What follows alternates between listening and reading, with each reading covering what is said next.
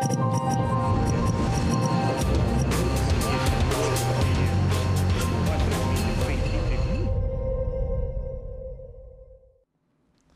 Bună seara și bine v-am regăsit, stimații telespectatori, la emisiunea Reflector Analitic. La 20 ianuarie s-au împlinit 2 ani de când a fost instaurat uh, guvernul Filip. Pentru ediția de astăzi ne-am propus să discutăm despre acești 2 ani, ce s-a reușit a realiza în această perioadă și care au fost, de fapt, impedimentele într-o realizare a celor uh, propuse. Aceste aspecte, dar și altele, vom discuta împreună cu Vitalie Catan, analist politic. Bună seara și bine ați venit! Bună seara! Și Pavel Medregan, avocat. Bună seara, bine ați venit! Bună seara! Domnule Catan, haideți să ne aducem aminte de acum 2 ani în urmă, ziceam la 20 ianuarie a fost instaurat guvernul Filip, au fost proteste în masă, unul din liderii a, a avut și de suferit în acea mulțime de protestatari. Astea au fost primele semne de instaurare a guvernului Filip, care mai târziu avea să, să fie destul de criticat. Prin ce se caracterizează, iată, acum la 2 ani? Acest guvern? Uh, bine, ce s-a întâmplat în momentul uh, instalării acestui guvern a fost uh, un fel de încununare, dacă vreți, a luptelor de stradă declanșate de anumite forțe politice. Și ne amintim bine că atunci când a fost numit acest guvern, au fost încercări de a crea chiar Uh, violențe, de a crea uh, evenimente uh, cu, s-au încercat chiar cu vărsări de sânge.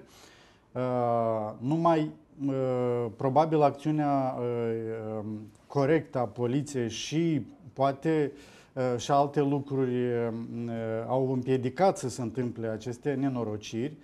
Uh, eu cred că a fost un uh, fapt bun în sine instalarea unui guvern, pentru că mulți urmăreau atunci destabilizarea Republicii Moldova, iar din punctul meu de vedere, uh, pentru o comunitate, în primul rând, e nevoie de stabilitate politică dacă vrea să se, să, să se dezvolte sau măcar să caute soluții pentru dezvoltare. Pentru că în condiții de turbulențe, violențe chiar, nu cred că există niciodată posibilitatea de a găsi cele mai bune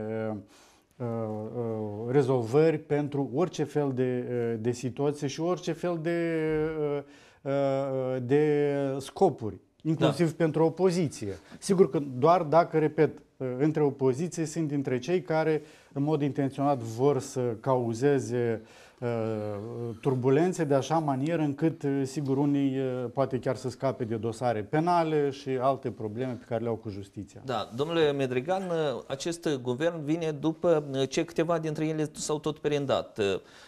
Unul dintre care a fost condus chiar de un pedist. Vorbim de Igor Corman, care nu a rezistat mai mult de un an. Bun, indiferent cine n-ar fi fost la da. guvernare, eu cred că noi cu toții am trăit și trăim o perioadă destul de dificilă a, pe parcursul istoriei statului nostru la etapa dată. Evident că s-au acumulat un șir de probleme economice, sociale și așa mai departe. Deci orice care guvern nu ar fi fost, ar fi fost aceleași probleme care sunt zi de zi locuri de muncă, sfera socială, învățământ și așa mai departe. Prin urmare, trebuie să fie, trebuie să fie un guvern. Eu nu știu de ce ați luat această perioadă, 2 ani, 100 de zile, un an. Pentru că sunt niște puncte de referință, de regulă să faci un bilanț. Uitați-vă, vine, vine la guvernare uh, o echipă pe patru ani. Guvernul, ca putere executivă, este o derivată a guvernării. Da? Deci, cei care vin la putere, prin uh, guvern sau, zicem, putere executivă, își realizează programul electoral și așa mai departe. Deci aici, când vorbim de guvern, am putea vorbi nu numai de guvern, dar în principiu de guvernare. Și guvernarea a venit pe patru ani, că iată o să fie trei ani. Eu ar zice că ar fi bine ca să examinăm uh, în uh, totalitate situația și activitatea guvernării, nu numai a guvernului, fiindcă, încă o dată menționez, din acele candidaturi care puteau să fie, eu cred că domnul Filip uh, este una cea mai optimală. În tot cazul, este o persoană care a trecut sfera de afaceri, este la o vârstă cu o experiență de viață și așa mai departe. Deci, uh, cred că a fost o propunere destul de rezonabilă la acel uh, moment. Desigur, a venit cu un program, da? ca și fiecare guvern, unde sunt mai multe puncte, am putea să le discutăm sau nu, dar este important percepția cetățeanului. Iată, a zis 2 ani de zile, mult sau puțin. Da, am putea să remarcăm și unele momente uh, pozitive, dar eu aș uh, aprecia uh, lucrul guvernului ca, ca o echipă de pompieri. Cu părerea de rău mai mult s-a încercat ca să soluționeze niște probleme arzătoare. Știm că și pedagogi, într-adevăr, salarii mici și alte categorii și unele restanțe și datoriile interne și externe. Deci s-au acumulat mai, mai, mai multe mai multe probleme și această echipă a fost nevoită mai mult, iată, să țină pe albia râului, dacă am putea să zicem, iată situația cu salariile, cu sfera socială, cu pensiile și am putea să zicem că în acest spectru cât de cât s-a reușit. Da? Avem salarii la bugetare, avem pensii. Dar care dar, este cuantumul, făcând referință, nu dar, știu, la coșul minim de consum? Bun, de ce așa menționat că suntem da. într-o perioadă destul de dificil, ca să avem coșul salarii, țara trebuie să câștige bani. Noi toți împreună trebuie să avem mai mulți bani. Ca să cheltuim mai mulți bani, trebuie să-i câștigăm. Și iată, din punctul ăsta de vedere, desigur că am putea să discutăm că ceea ce s-a preconizat, ceea ce era a, bine, dezirabil pentru noi, adică niște pași mai rapizi, niște indici, niște schimbări, se vorbea despre investiții da. și așa mai departe. Iată că, după părerea mea, încă nu s-a produs aceea ce are necesitate. Noi avem uh, nevoie de, în fiecare an, măcar 7-8% de, de creștere, în 15-20 de ani. Noi suntem și așa în întârziere pe multe sectoare.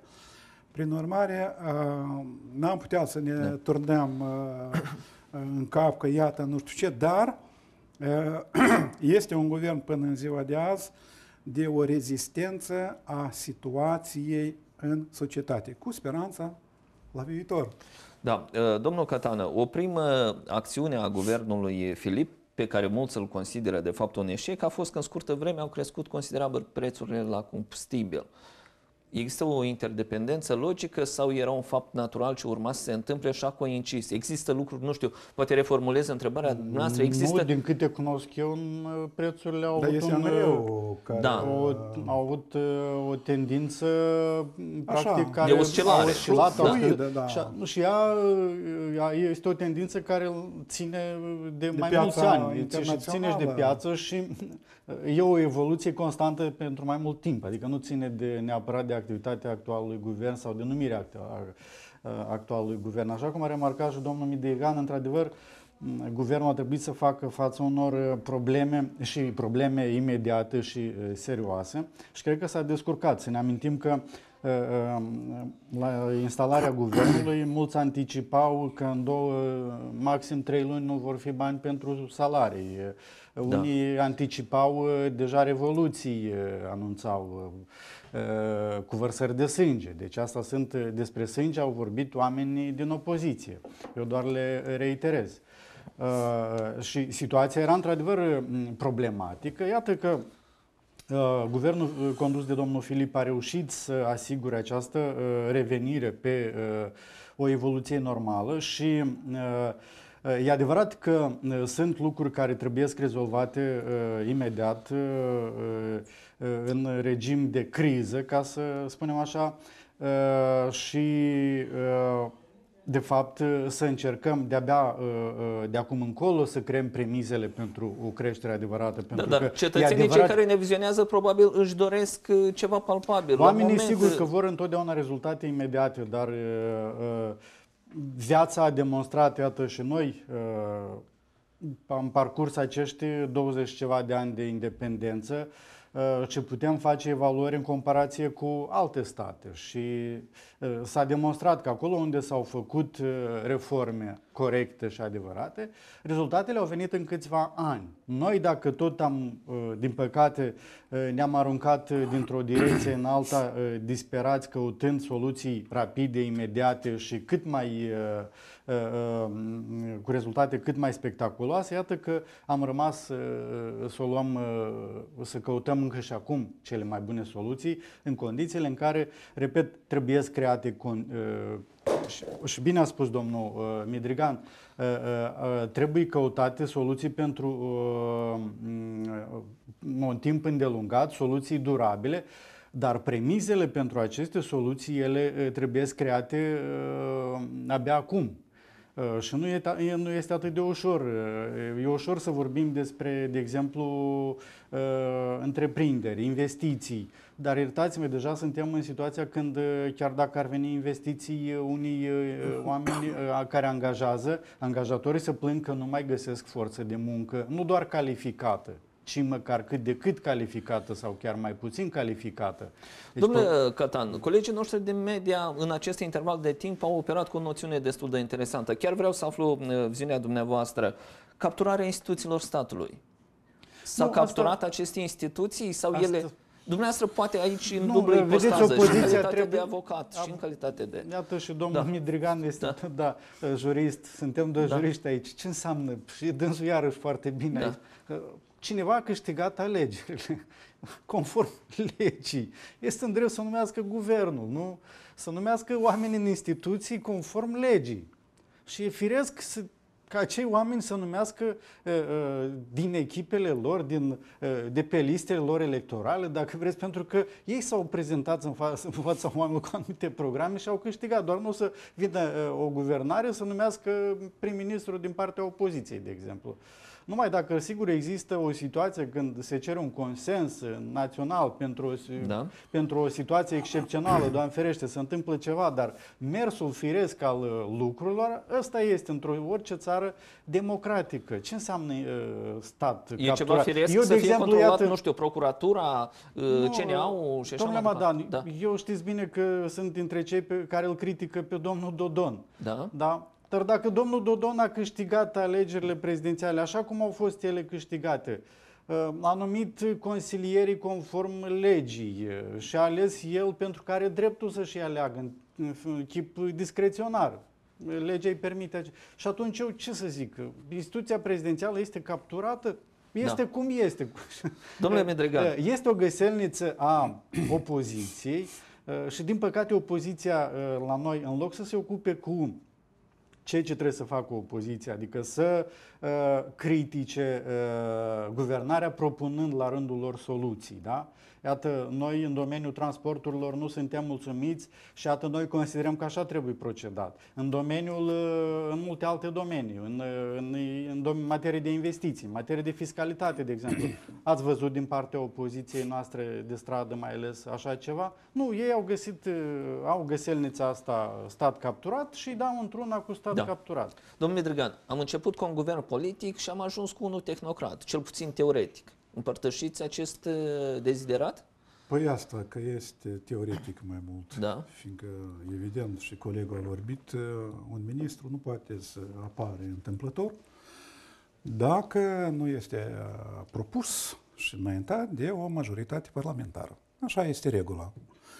Adică că zicem că este numai specialist și nu are nicio atribuție la un partid politic, cred că, cred că ar fi a eronată această chestie. Sunt uh, mai mulți care echipele nu fac parte din partid, dar sunt uh, la comanda sau cu plăcere ar lucra și uh, noi cunoaștem că am avut mai mulți, am avut un ministru economiei francez, de la care se aștepta minuni. Zicea că să, să se rup pământul. În Moldova o face în câțiva ani de la Partidul Democrat.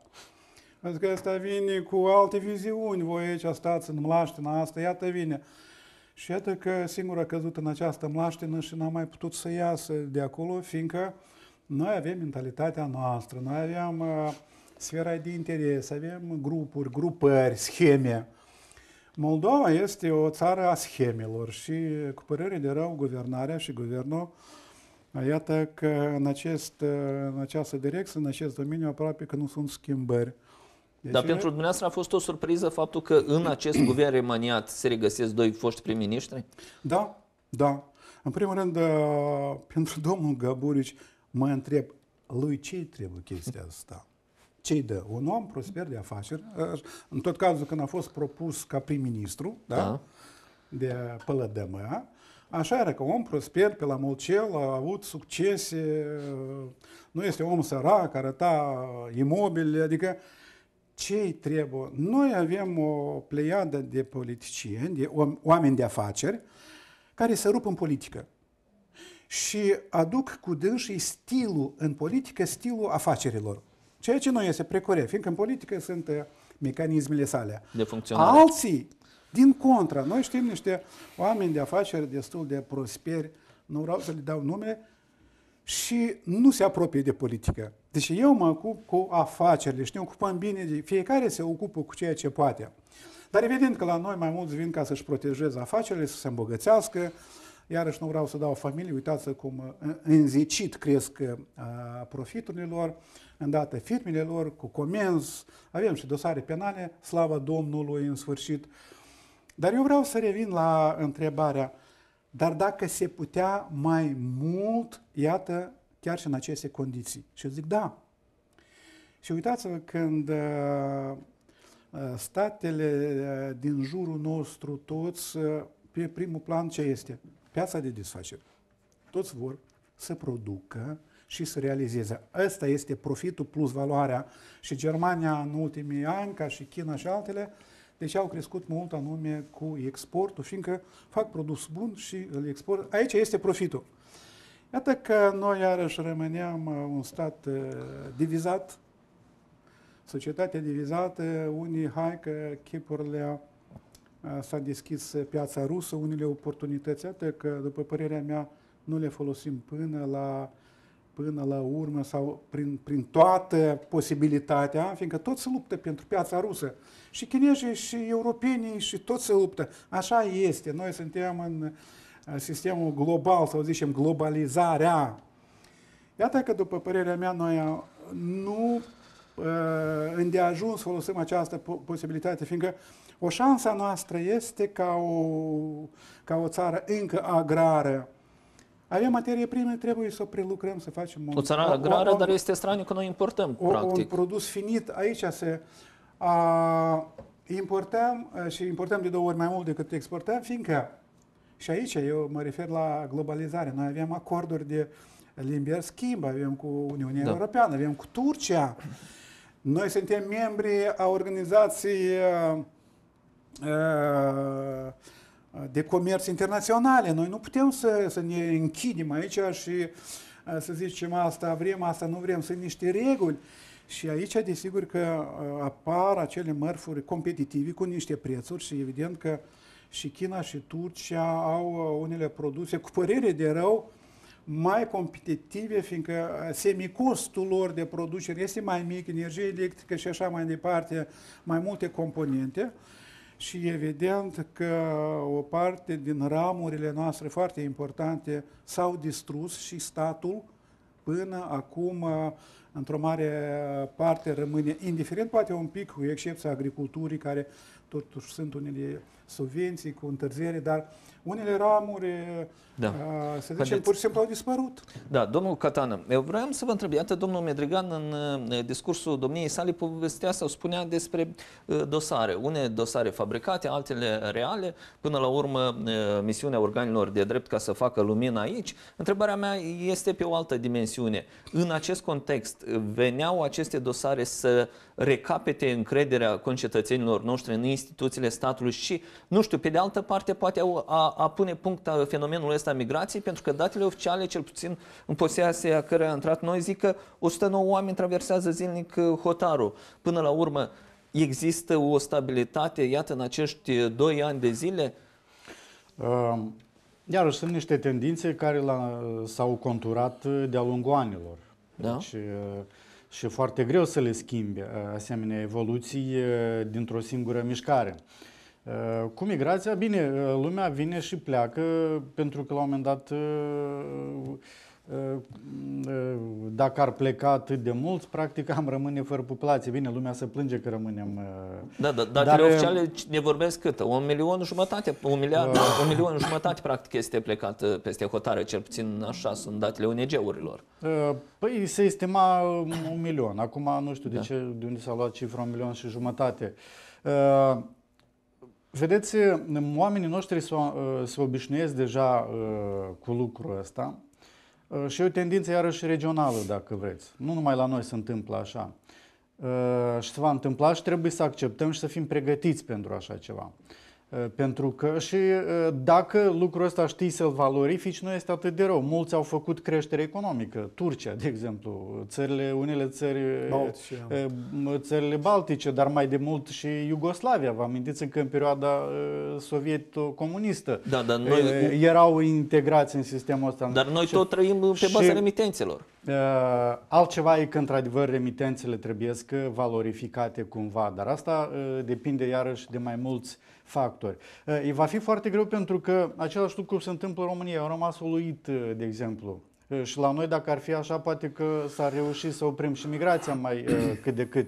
Dar despre medici se discuta. În România, un medic performant are minim 2000 de euro și oricum pleacă. Și mă minunez de ce. Explicația este că în Germania sau în Franța primește 4-5 mii de euro. Eh, vedeți, deja nici cu 2000 de euro nu-i mulțumești pe unii oameni.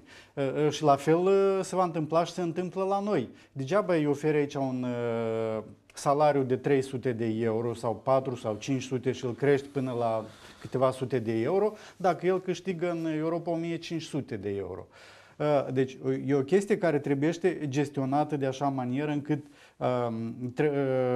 să creăm probabil această circulație de oameni, de oameni astfel încât să-i avem și noi la dispoziție. Din ceea ce rămâne, măcar să-i avem pentru nevoia pieței noastre de, de muncă. Iar asta înseamnă activități conjugate de altfel pentru diferite materii și învățământul, dacă tot pleacă, înseamnă că trebuie să uh, creăm un învățământ performant, astfel încât el să producă acei oameni. Uh, uh, Când vorbiți și... despre performanță, vă da. referiți și la remunerare, bănuiesc. Uh, încet, încet, da, sigur că da. Și remunerarea. Sunt de altfel domenii unde remunerarea este cât de cât în domeniul IT-ului sau sunt câteva domenii unde deja au atins niște uh, standarde. Domnule uh. Catan, uh, dar ce facem cu localitățile noastre? Nu știu, cu bunicii noștri care au o pensie de 1000 de lei? Iată în Dom- acest domnule interval Madan, de aici timp. mult, uh, cred că e mult uh, să face. Uh, pe de o parte, sigur că uh, lucrurile sunt adevărate, dar diagnosticul iarăși trebuie făcut corect ca soluții la rândul lor să fie corecte. Pentru că uh, și eu, întâmplarea face că am, am călătorit și călătoresc mai mult prin, uh, prin țară uh, și văd și eu ce se întâmplă. Chiar în satul bunicilor mei, a părinților mei, am fost de mai multe ori. E adevărat că arată un mai, poate mai puțin atrăgător uneori, dar pe de altă parte, dacă ne uităm la oameni, Uh, dincolo de aspectul aparent, da? Uh, atunci lucrurile stau un pic altfel. Și atunci mă întreb, de exemplu, este rău că un om care locuia la țară, da, s-a dus undeva, a câștigat niște bani și el nu își investește banii pentru propria bunăstare la, în localitatea lui. Cumpără un apartament la Chișinău sau în cel mai rău caz la Bălți sau în orașele astea mai, uh, care sunt mai atractive pentru ei. Da. Sigur, pentru sat ca aspect nu este bine, probabil. Dar eu nu știu, la 20 că la 25 de kilometri avem doi copii în sat. Pentru oamenii da. care... Trebuie să avem în vedere că uh, migrația asta dinspre sat uh, la oraș trebuie și asta să o acceptăm ca atare, pentru că noi am fost ținuți în perioada sovietică da. de acest sistem de numit uh, de reședință, da, propiscă, dacă țineți minte. Migrația a fost uh, oprită practic firească, normală, pentru că urbanizarea este un fenomen uh, global, firesc. universal și firesc. El a fost oprit. Ei, acum a explodat și el se manifestă în formele pe care le vedem și noi. Au de suferit satele, dar pe de altă parte trebuie să vedem. Oamenii, eu cred că uh, uh, dacă el își cumpără un apartament la oraș, eu cred că nivelul lui de trai, nivelul lui de confort, de viața lui a crescut. Și trebuie să vedem și, și aspectul da. ăsta. Trebuie cumva să, uh, să găsim, repet, în sensul ăsta, diagnosticul, uh, pentru că nu o să oprim uh, mod... Pe, pe de altă parte, iarăși, câtă, haideți să ne gândim, câtă uh, uh, infrastructură trebuie să creezi la sat ca să oprești niște oameni să stea da. acolo, că nu-l mulțumești cu un club, o luminiță sau un magazin și atât. Domnule Nedrigan, vă rog, eu aș continua, chiar să continuați acest gând. Sunt, sunt mai multe studii, analize referitor la acel subiect și, într-adevăr, este o, o tendință, mai ales în republicile fost Uniunii Sovietice, care, așa este firea omului, caută unde este mai bine. În același timp, unii indici răspund la întrebarea de ce pleacă? Și una din cauzele este că noi aici nu vedem perspectivă. Da? Iată acești... Dezamăgirea în clasa politică? Nu numai în clasa politică, clasa politică noi îi alegem. Dacă nu putem să cerem de la dânși ca ei să lucreze, cine e vinovat? Noi îi alegem sau ei de pe lună vin? Iată, noi suntem așa oferi că vrem totul deodată, așa ușurel, nu știu cum, deci nu întotdeauna suntem gata să ne implicăm, fiindcă acestea sunt problemele noastre, nu o să vină cineva să ne facă drumurile, gardurile, cimitirele, bisericile. Noi repede, hai, ne ducem uh, repede undeva acolo în Italia, câștigăm mai mult și noi, echipurile, suntem, cum zicem noi, în șocoladă. Uh, această incertitudine, da, iată un tânăr, uh, termină, uh, să zicem, liceu, pe urmă colegiul, pe urmă universitatea, care este perspectiva reală acestui tânăr în Republica Moldova? Și că dacă vorbim despre guvern și guvernare, ce perspectivă îi dă acestui tânăr? Fiindcă evident că nu este sarcina a guvernului să creeze numai locuri de muncă. Ei trebuie să creeze condiții. Și la rândul lor, cetățenii trebuie să, să se implice în afaceri, ceea ce poate să învețe o profesie, deci nu pur și simplu, hai, creăm. Iată, noi juriștii suntem. Da. Suntem foarte mulți. Este deja un surplus de câteva ori. Dar dacă ne uităm, guvernul nu poate să creeze locuri pentru toți juriștii. Pentru toți juriștii. Da, domnule Medrigan, este o posibilitate. Da, domnule Medrigan, dumneavoastră vorbiți despre fluxul de investiții, chiar îmi notasem ca să discutăm și acest aspect. În, în timp ce guvernarea se încearcă a axa pe această dimensiune, uh, în continuare cred, cresc împrumuturile externe. Bun, sunt două chestii diferite. Da. Împrumuturile externe au fost și vor fi și toate statele au împrumuturi. Vă închipuiți că Statele Unite au uh, împrumut triliarde și trilioane. Da? Nu este problema aceasta că este împrumut. Problema este capacitatea noastră de a întoarce aceste împrumuturi. Fără, fără împrumut este greu. Și avem această da? capacitate? Da? Nu avem. Prin urmare, dacă ne uităm cifrele, la, la noi au crescut și chiar sub această guvernare și acest guvern au crescut împrumuturile externe și cele interne. Iată că noi vorbim că da, au apărut niște probleme de criză, trebuia urgent. Ce au făcut? Au împrumutat de la băncile noastre cu procente destul de înalte. Dar cine cu băncile noastre? Sunt oligarhii noștri. Deci ei câștigă aici pe loc. Unul la altul împrumut și câștigă. Uitați-vă câți milionari a crescut anul trecut. 226 de milionari mai mult decât în 2015, fiindcă pe 2017... Deci ă, țara sărăcește, dar milionarii cresc. Un paradox, da? S-ar părea. Referitor la investiție, ce înseamnă o investiție în sensul economic? Cineva investește ca să primească profit. Păi nu vine cineva cu sacul de bani că nu are ce face cu banii. Deci este un studiu, studiu de fezabilitate, este un plan de afaceri, zicem noi, business plan, unde da. Fiecare uh, încearcă să amplaseze aceste sume de bani ca peste 3-4 ani sau o, o diferită perioadă să-și întoarcă banii și cu profitul. Deci noi uh, putem să ne întrebăm, dar în care domenii, în care ramuri am putea să așteptăm investiții? Fiindcă investitorul, dacă nu, nu își întoarce banii și nu câștigă profit, îl duce în altă țară. Este mai liberă, mai uh, securitate, sistemul bancar mai dezvoltat și așa mai departe. Deci așa o face toată lumea. Banii acum pleacă dintr-o continent pe altul, dintr-o țară în alta și investorul este ca apa. Acolo unde își găsește drumul ușor, acolo se duce apa. Unde... Da. Prin urmare, ca să vină investitorii, trebuie să le creăm uh, unele condiții, nu mai mult favorabile decât ai noștri, dar Autohton. pe interesează Uh, mișcarea capitalului, forțe de muncă, profitul și așa mai departe. Și să nu vină organele de control, cum au fost pe la bălți, cazuri când controle și așa mai departe, Și desigur, cum a menționat uh, domnul Cătană, noi ne-am pomenit într-o situație că la aceste întreprinderi de performanță care zicem că într-adevăr vin cu uh, performanțe, cu mașini automate, nu prea avem forță de muncă, fiindcă nu are cine le pregăti, fiindcă uh, sistemul tehnic profesional, colegiile și așa mai departe au rămas în urmă. Prin urmare, sunt uh, câteva exemple pozitive, zice și la Orhei uh, și la Bălți, încearcă însăși investorul să creează o bază de învățământ unde tinerii cât de cât, acest lucru. Dar este, încă o dată repet, foarte și foarte puțin pentru faptul ca noi să avem într-adevăr Domnule Catană, există climat investițional favorabil în țara noastră sau economia tenebră este la ea, se simte bine? E o întrebare complicată pentru că avem și în mod firesc economie în umbră, da? Dar nu aș spune că neapărat climatul investițional este atât de ostil încât să nu poată să se dezvolte.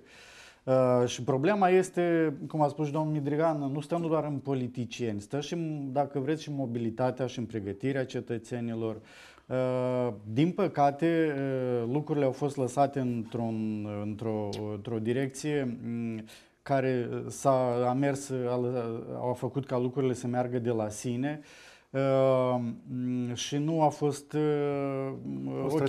De exemplu, aceleași remitențe, că ați vorbit, uh, Uh, toate s-au dus în consum. În cel mai bun caz, uh, toți, majoritatea își cumpărau apartamente, că acum au ajuns să, să, să, să caute să le vândă înapoi. Deci apartamentele, erau, imobile erau uh, investiție.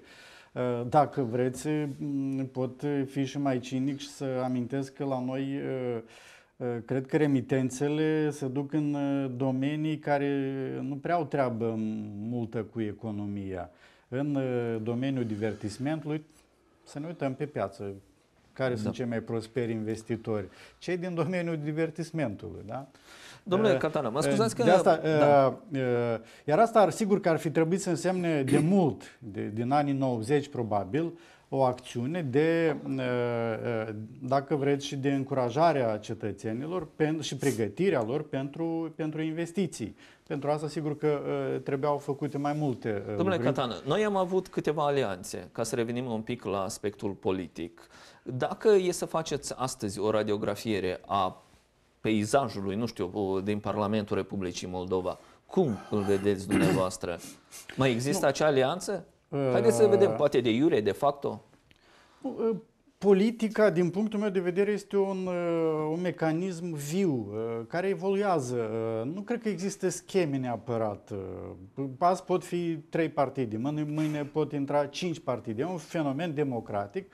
Altceva e că acei oameni care ajung acolo, independent de partidele din care vin, să creeze curente mari uh, care să exprime opțiunile cetățenilor, să se angajeze uh, în, în niște guvernări eficiente pentru cetățeni. Că trei partide și uh, eu nu văd problema. Îl întrebam pe domnul Medrigan dacă a fost luat prin surprindere atunci când a fost numit domnul Leancă și domnul Gaborici membri a acestui guvern. Adresez aceeași întrebare, ținând cont că domnul Leancă cel puțin figura în acest dosar al miliardului sau se învârtea anumite suspiciuni în jurul domniei sale?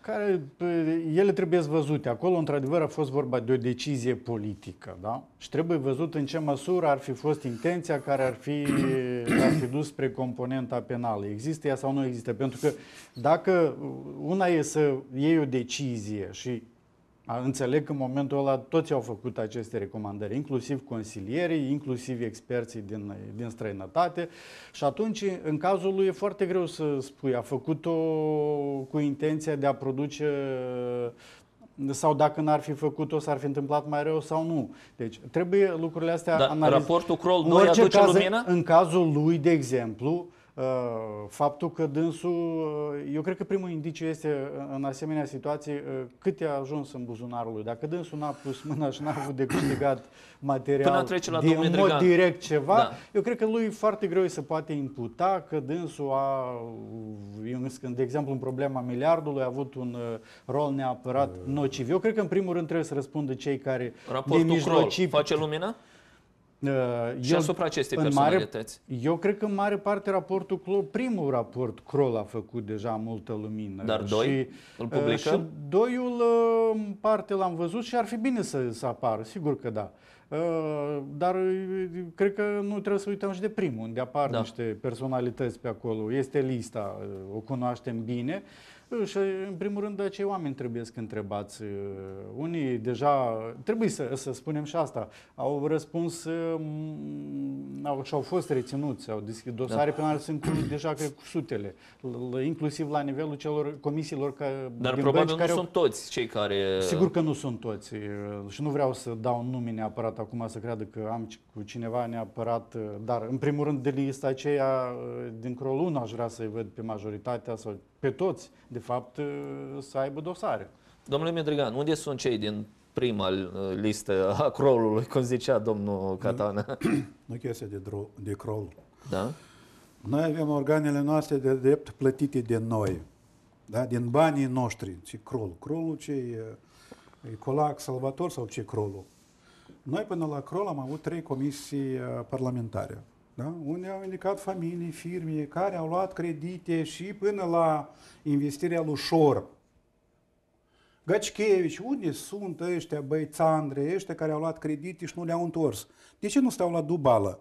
Gășchevici a fost reținut, că și are dosar. Stă 5 ani de zile în prima instanță, domnul Catan. Asta e altceva. Asta e justiție, se numește, asta e bătaie de joc. A. În prima instanță încă stă fără sentință. Și s-a demonstrat, bun, uh, Șor are păcatele lui. Un miliard și jumătate până la Șor uh, n-au fost credite întoarse.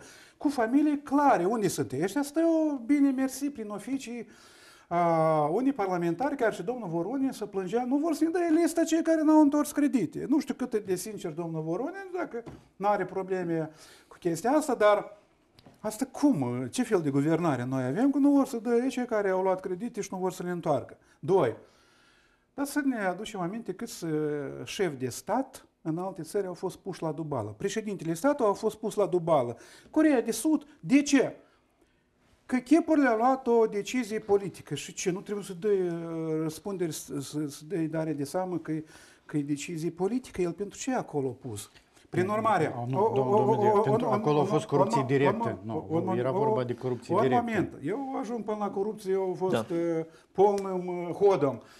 Citiți un pic dosarul filat. Și o să vedeți de ce aceste decizii au avut loc.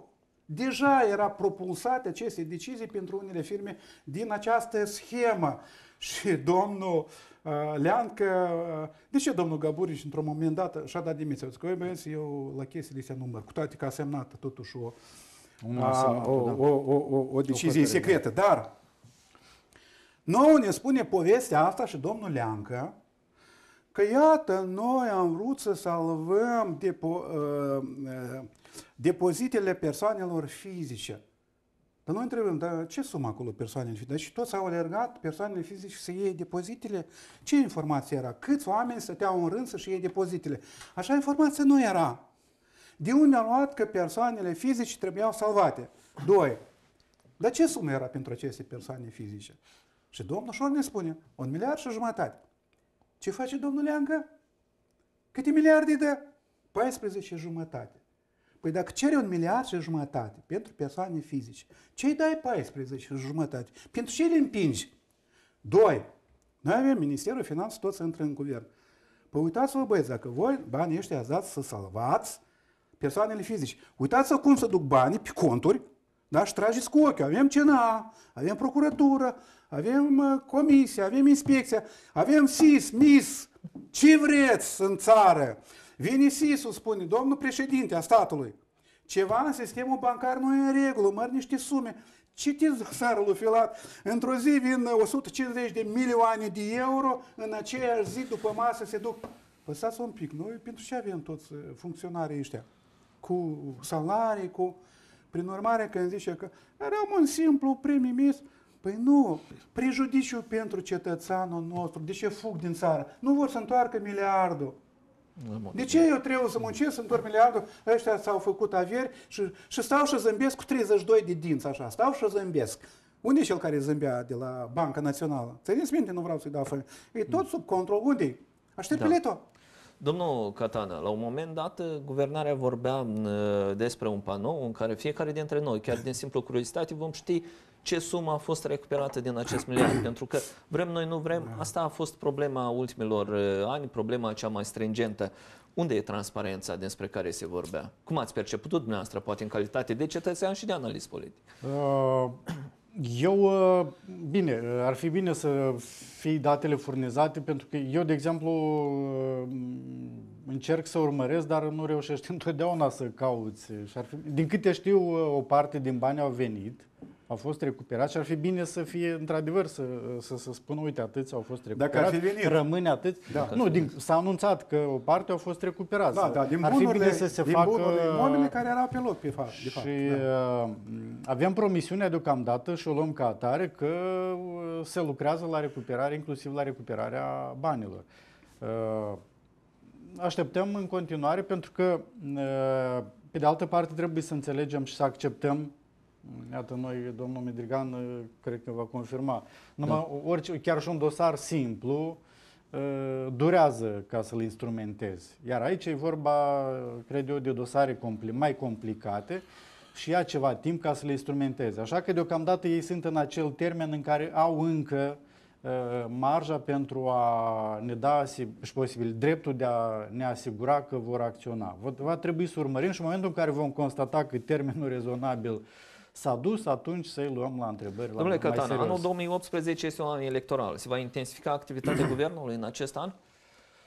Uh, nu vom ajunge, nu știu, în niște promisiuni făcute, nu știu, în niște eu cred că un guvern, pentru a face promisiuni credibile, trebuie să se bazeze pe Bine niște zis, rezultate. credibile și nu populiste, cum poate se uh, întâmplă unii iar, sau iar, le percep unii dintre iar noi. Iar diferența între promisiunile credibile și promisiunile mm, populiste o, face, o fac rezultatele curente. Da?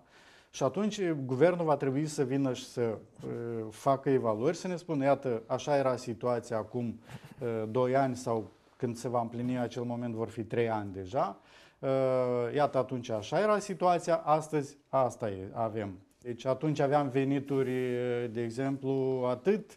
Astăzi, uh, de exemplu, am reușit să creștem uh, veniturile cum se întâmplă de la vamă. Da? Au crescut niște venituri în plus față da. de perioada anterioară, au venit. Deci asta trebuie să facă din punctul meu de, de, de, de vedere, vedere guvernul. Da. Să prezinte niște rezultate și în baza lor să spună, iată, noi putem asigura în continuare Domnul Medregan, ce creștere. se întâmplă în 2018 cu guvernul? Și intensifică activitatea, scurt, mai avem o minut la dispoziție. Păi nu, fiindcă are un, are un program, el nu depinde, sunt multe chestiuni care ele trebuie zi de zi, salarii, asigurare și așa mai departe au să vină partidele cu promisiuni și populismul nu întotdeauna este ca esență negativ. Populismul este ceea ce vrea să audă poporul. Poporul vrea să audă de locuri de muncă, de securitate, de mai multe chestiuni pensii și așa mai departe și aici revenim în câmpul politic. Politicienii vin cu programe, partide, avem fel de fel de partide, rămâne într-adevăr credibilitatea față de dâns și aș menționa un lucru foarte important, ca toți cetățenii să-l cunoască.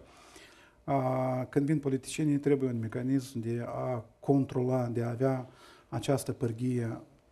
Dacă odată au venit și au promis și au primit mandatul, Păi cum, într-adevăr, ei realizează acest mandat și îndeplinesc programul? Iată aici este problema noastră. Regia ne spune că avem încă 20 secunde la dispoziție. Pe final de emisiune, întrebarea mea este foarte scurtă. Pe o scară de la 1 la 10. Notele pentru guvernul Filip și cu asta punem punct ediției curente. Domnul Catana, nota dumneavoastră pentru guvernul Filip. Eu cred că raportat la situația pe care a preluat acest guvern are o notă pozitivă.